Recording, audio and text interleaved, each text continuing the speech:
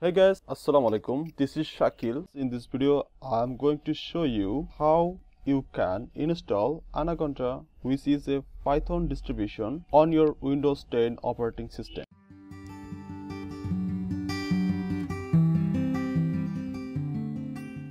So first of all, we should know what is Anaconda. So Anaconda is a free and open source distribution of R and Python programming language for data science and machine learning related application. As you know, Anaconda comes with very nice tools such as Jupyter Notebook, Spyder, Glueviz, Orange 3 and Qt Console using these tools because they are really easy and convenient to use. So let's see how we can download and install Anaconda for free. So I go to my browser Google Chrome and I search here download Anaconda. As you see, this is Anaconda Python and R distribution free download. So I go to this link anaconda.com slash distribution and I click here download. I put the link of Anaconda on video description so you can find it very easily. As you see here, three different operating system like Windows, Mac OS, Linux. So by default, select here Windows. So I download Anaconda 2019.10 for Windows installer. So I click here download. So I click start download, close this because I have already downloaded this file. So I minimize this. I go to this directory Anaconda and this is my file. So I click here and simply I click here next. Actually this is license agreement info. So as you wish you can read it so I simply click here I agree. Then I select all users. Then next. Okay I select yes.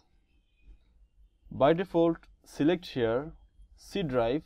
So I install my Anaconda 3 on C drive. So I simply click next. Then I select install. Okay. Wait a little bit time okay I click next. Next. Finish. Okay I cut this. Okay well now I search here Anaconda. So as you see two options here. One is Anaconda navigator and another Anaconda prompt.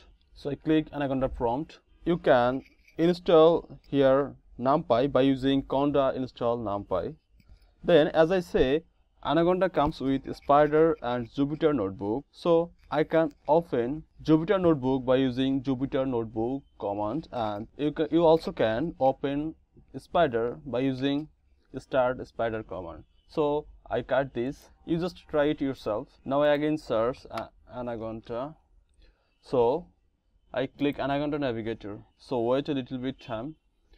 So you see here a lot of tools like Jupyter Lab, Notebook, Jupyter Qt Console, Spyder, Glueviz, Orange 3, RStudio, BS Console. So you can install easily by clicking install here. I only use here Spyder, so I click here Spyder. Wait a little bit time. So as I write here 5 plus 5 and I select then shift enter so you see here 10 so this is actually a Spyder and that's it. Thank you. Thanks for watching this video. Assalamu alaikum